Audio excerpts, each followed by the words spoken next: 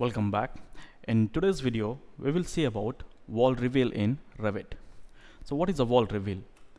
Wall reveal option in Revit allows you to add a decorative horizontal or vertical cutout to a wall.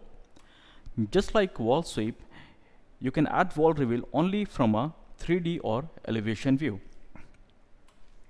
So let's see a demonstration on how to add a wall reveal in Revit architecture. So let's switch to Revit.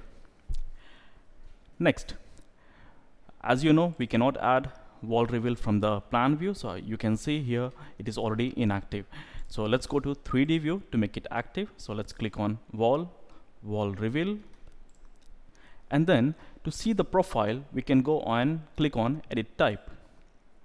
So under profile option, you can see there are many different options are present. So in my case, I will take a default shape. So click apply and then OK. So just like wall sweep, we will can use horizontal or vertical option. So let's suppose if I want to add a horizontal wall reveal, I can click on horizontal and then I can select a wall face and specifically we can click on each face and then add wall reveal.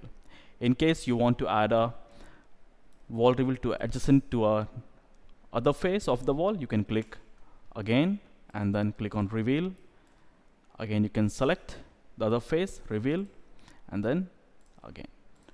So this is how you can add wall reveal to a wall.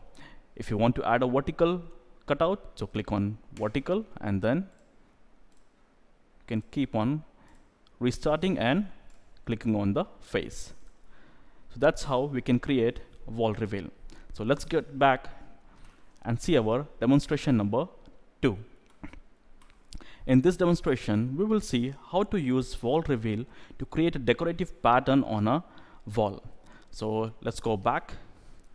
So let me go back and then I will open elevation view from the south.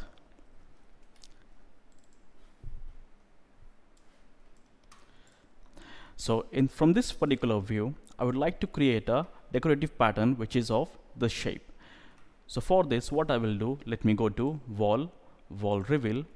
And then instead of adding this thick size I will go to edit type.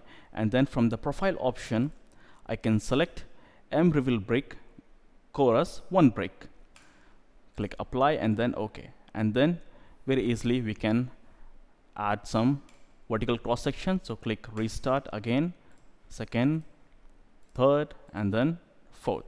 In the similar way we will add some horizontal cutouts so one two three and then four.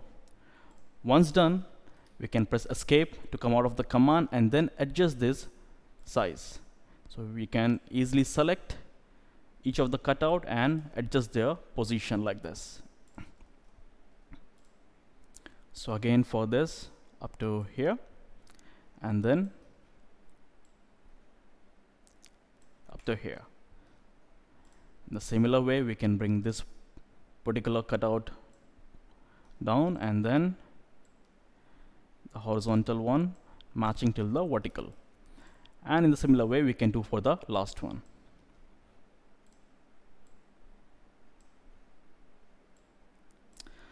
So that's it.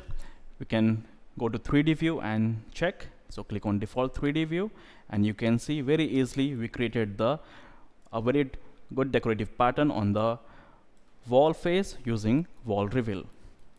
Thank you very much.